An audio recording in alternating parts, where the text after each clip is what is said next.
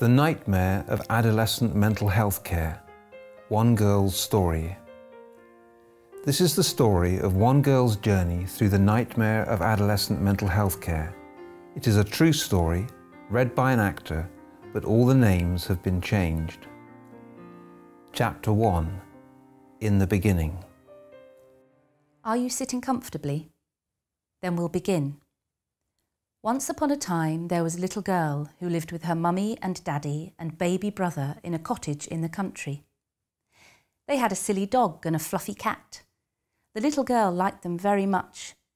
She was a soft-hearted little girl who cared very deeply for all animals. She liked the tweenies, especially Fizz. She had a Fizz costume and would dress up as Fizz and dance along with the tweenie songs. She loved singing and knew how to do the actions to just about every single nursery rhyme. She was very, very loved. She had lots of dreams. She wanted to be a singer when she grew up and to have a big family because she loved children. She wanted to be a nurse or a doctor. She couldn't wait for her big prom when she was 16. She knew she would look like a fairy princess. Chapter 2 The Dreams Begin to Crumble.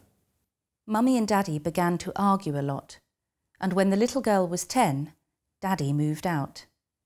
He very rarely saw the little girl after this. She was very hurt. Mummy was very unhappy during this time and wasn't really there for the little girl. It was extra hard for the little girl and her brother because the family had no other relatives and no one to help and support them. Her little brother was very unhappy, and the little girl did all she could to comfort him. The little girl felt lonely. The little girl had always done very well at school and was an A student. Every parents' evening, her parents had proudly listened to her teachers say how well she was doing. But now, the little girl started to have difficulties at school. There was no one to really understand why. Chapter 3 Struggling. When the little girl went to secondary school, she felt scared and overwhelmed, but she didn't tell anyone. She had stopped telling anyone how she felt. She told everyone she was fine and had no problems. Instead, she helped everyone else with their problems. But she started to have very difficult feelings and unusual thoughts. One night, she went to her mum and said she had done something silly and didn't know why. She showed her mum her arm that was littered with cuts. Her mum was very upset and frightened, but the little girl promised her she would never do it again. She could not keep her promise. Chapter 4 Asking for Help.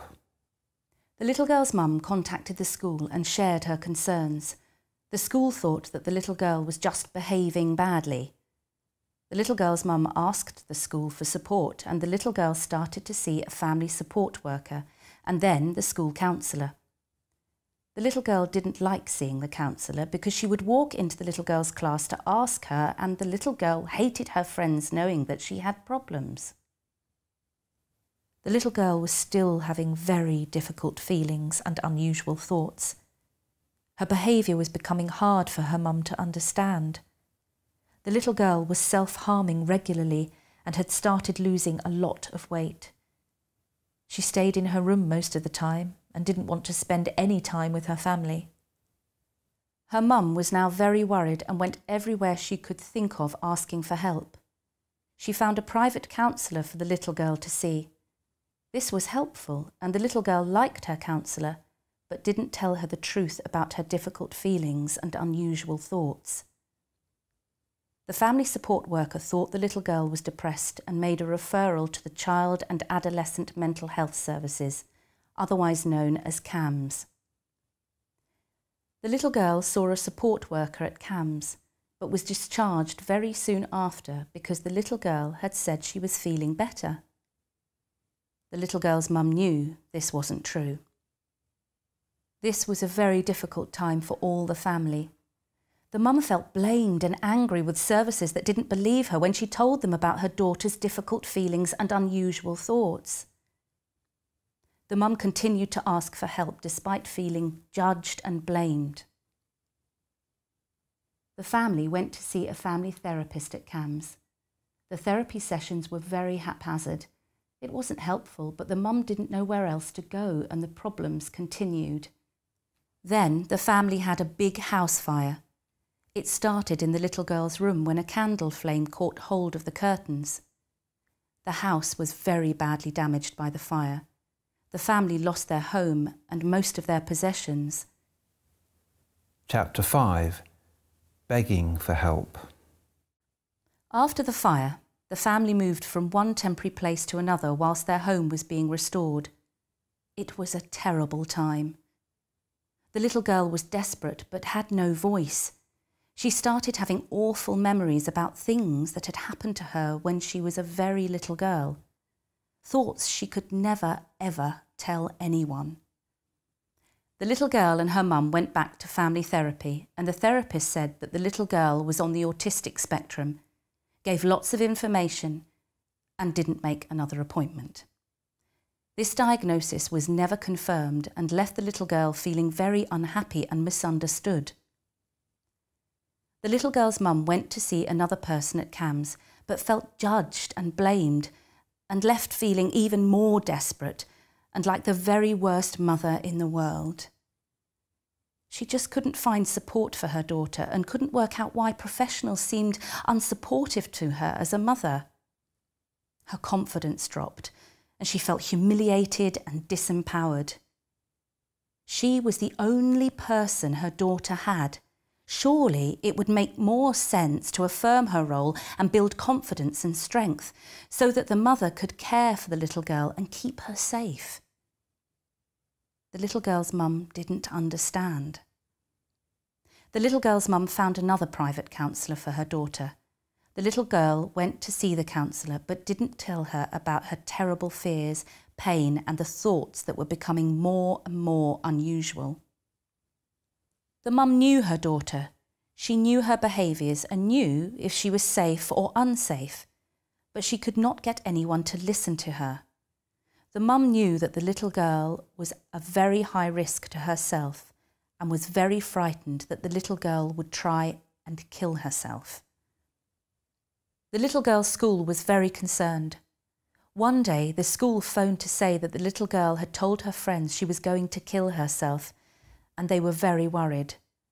The little girl had left a note in her room for her mum, saying that she loved her, but she couldn't carry on living. Her mum managed to find her and bring her home, but the little girl was angry and hid away in her room, refusing to speak to anyone. Once again, her mum rang the family therapist at CAMHS with these concerns. She went to meet with him and told all her concerns. She never heard back. Then, a carer support worker called Joanne started to visit. For the first time, the little girl's mum felt that someone was on her side. When all the fire damage to the family home had been repaired, they moved back in. This was very difficult for them all. The little girl's mum again told CAMHS about her concerns. Soon after, the little girl took a huge overdose and was rushed to hospital. It was a serious suicide attempt, not a cry for help. The little girl didn't want to live. Her mum once again left a message with the family therapist telling him what had happened. He never replied. Joanne's ongoing support was a great help at this time, but the little girl's mum felt hope slipping away. Chapter 6 Help at Last Whilst in the hospital following the overdose, the little girl was visited by another person from CAMHS. She was a psychologist and her name was Jill. Jill was very worried about the little girl and arranged for her to see a psychiatrist. The psychiatrist was called Abby. Jill and Abby listened very carefully to the little girl. They didn't believe her words. They listened instead to her pain and her fear, and the little girl slowly began to talk about her difficult feelings and unusual thoughts.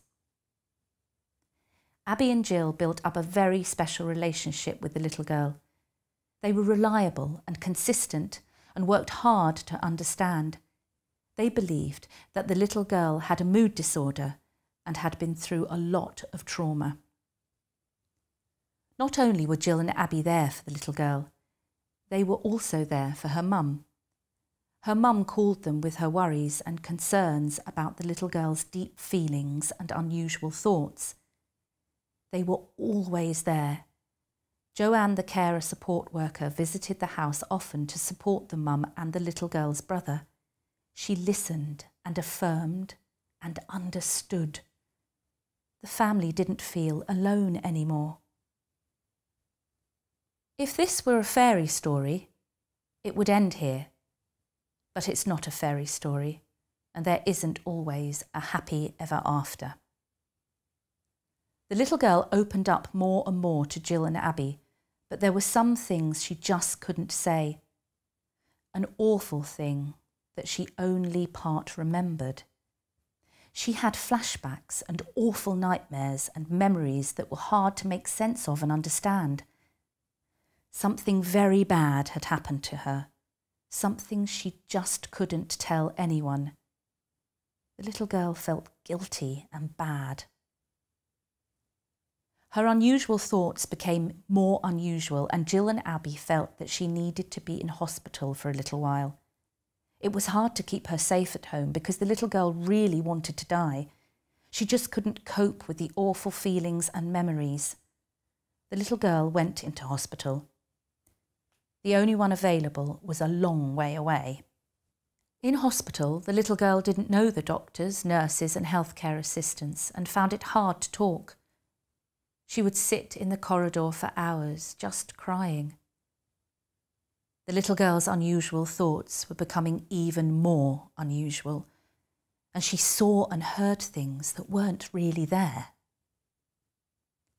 The little girl's mum was becoming aware that perhaps something awful had happened to her daughter, and she looked through the little girl's belongings and computer. She did not feel good about doing this, but there was a piece of a jigsaw missing and she wanted to find it. She found things on the computer. There are no words to describe how the little girl's mum felt when she saw the things that the little girl had written about, things that had happened when she was very small.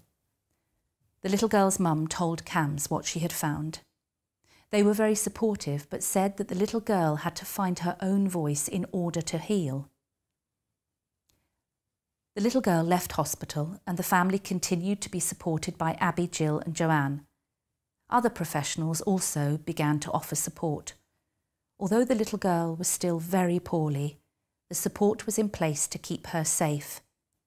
The little girl's mum felt supported and understood too. The little girl began to really trust Jill and Abby, and although she couldn't say exactly what, she did tell Jill that there was something awful she couldn't talk about. Chapter 7 Dark Times The little girl's moods became more extreme. Sometimes her mood was very low and she wanted to harm herself. Other times her mood became very high and she became disinhibited, doing things she felt very ashamed of afterwards. At times, she continued to see and hear things that weren't there and became very frightened and paranoid. She had delusions that she had to do certain things and once again had to go into hospital. The hospital was over 150 miles away from the little girl's home, but was the only available adolescent bed in the entire country. It was a private hospital, there were no available NHS beds anywhere in the country. The nightmare began to worsen. The little girl was very poorly. She saw and heard terrible things dead people screaming at her, people she loved being murdered, and someone trying to get her and hurt her and kill her. She was petrified. On the ward, there was a psychiatrist, nurses, healthcare assistants, a psychologist, and a family therapist.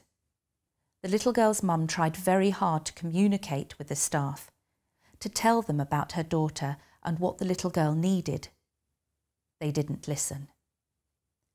There was a shortage of staff, and often many of the staff on duty were from an agency and did not know the very ill young people on the ward. They seemed to have very few of the skills and qualities needed to work with them. One day, another patient hit the little girl in the face. The little girl's mum asked for an investigation and was told the little girl had provoked the person who hit her, which seemed to suggest it was her fault. It was not her fault. It had never, ever been her fault. The little girl became more and more distressed after this. The staff started to put their hands on the little girl. They restrained her, held her down, and injected her with antipsychotic drugs. The little girl could not bear to be touched. Her mum had told staff this over and over again. They did not listen. The little girl's mum rang the ward following hysterical calls from her daughter. On one occasion, the nurse on duty shouted at the mother that her daughter wasn't the only one on the ward and they were too busy to check on her. The little girl's mum complained. No one listened. The little girl did build a good relationship with a healthcare assistant called John. He understood the little girl, and she was never restrained or forcibly injected whilst he was on duty. He knew just to be with her and listen and tell her over and over that she was safe. The little girl began to talk about her awful secrets. In tiny baby steps, she began to talk about what had happened when she was a tiny child. The hospital involved other agencies without telling the little girl. She became terrified that bad things would happen because she'd begun to open up about what she called her deepest, darkest secrets. She became even more distressed. The little girl was taken forcibly to a high dependency ward in the same hospital. She was not allowed to see John, who she'd begun to trust.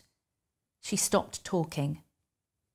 An investigation involving the police began, but it stopped because the little girl had lost her voice again. The little girl's mum slept in her car in the hospital car park. She wanted to be there in order to try and prevent the staff using physical restraint and forced medication when her daughter became distraught and terrified.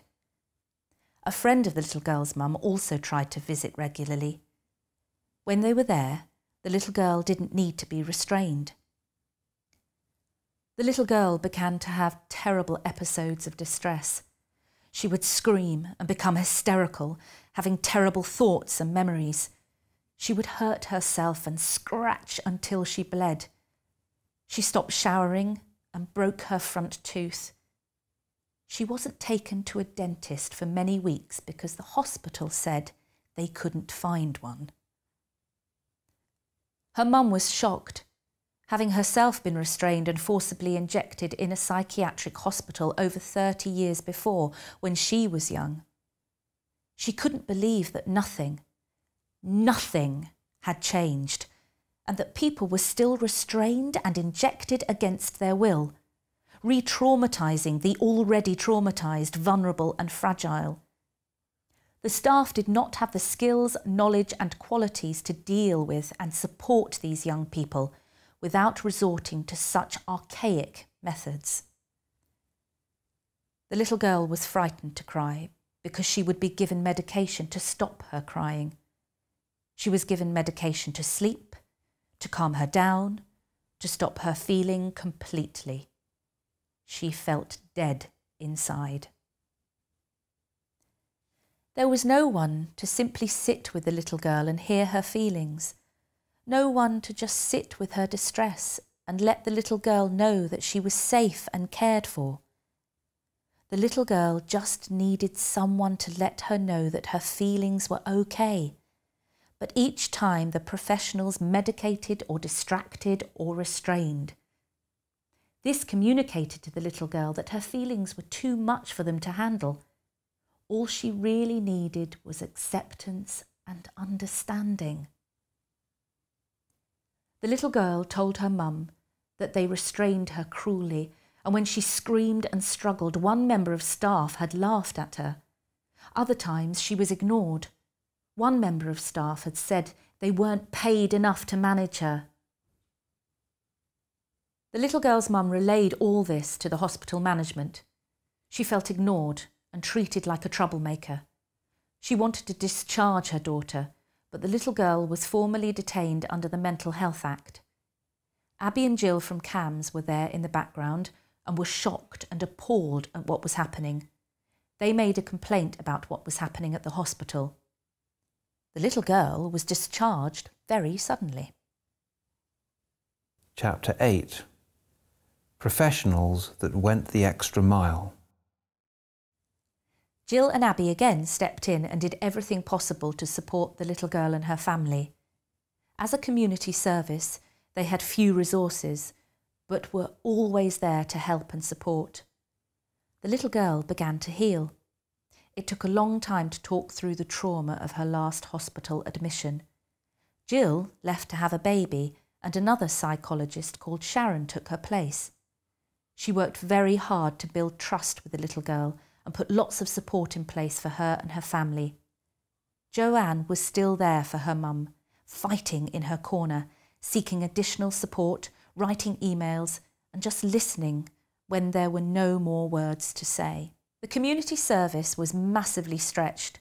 So many young people in distress, few resources, few well trained staff. The little girl did continue to heal with help from Abby, Sharon, and others who came to care. However, the memories from when she was very small haunted her. The little girl became very unwell and unsafe again and had to go back into hospital. This was terrifying for the little girl and her family due to past experiences. The little girl went to an NHS unit 30 minutes from home. She was very unwell and had awful delusions and hallucinations. She harmed herself and hit out in her terror and distress. The staff sat with her. They did not put their hands on her. They did not force medication on her. They tried hard to listen and understand. The little girl began to talk about what happened to her as a young child, but the hospital was only for young people who were very ill and in crisis. There just wasn't enough time for the little girl to tell the whole story. The little girl was discharged from hospital. She still has a very long way to go. Chapter 9 Where she is now. She doesn't wash. She cannot sleep in a bed, and her anxiety is so high she cannot go out alone. She is terrified of the dark and stays awake throughout the night. She curls up in a chair most of the day. She can get very angry and destructive in her fear and frustration. She is terrified of the shower. She still cannot bring herself to say who it was that hurt her all those years ago. She has not been to school for three years. Her friends have disappeared. She had no prom. She has no career. Her dreams are still only dreams that she believes will never come true. The little girl is so sad. She wants to be like other young people of her age. Abby has left the child and adolescent mental health services. Sharon and Joanne are still helping the family. They are working so hard to try and build a team to help the little girl, but there are simply not the resources needed. The little girl may not need to be in hospital but she is certainly not able to manage in the community. The little girl's mum does not know what to do or where to go next to get the support the little girl desperately needs in order to avoid yet another hospital admission. The little girl's mother is exhausted from fighting to get her daughter the care she needs.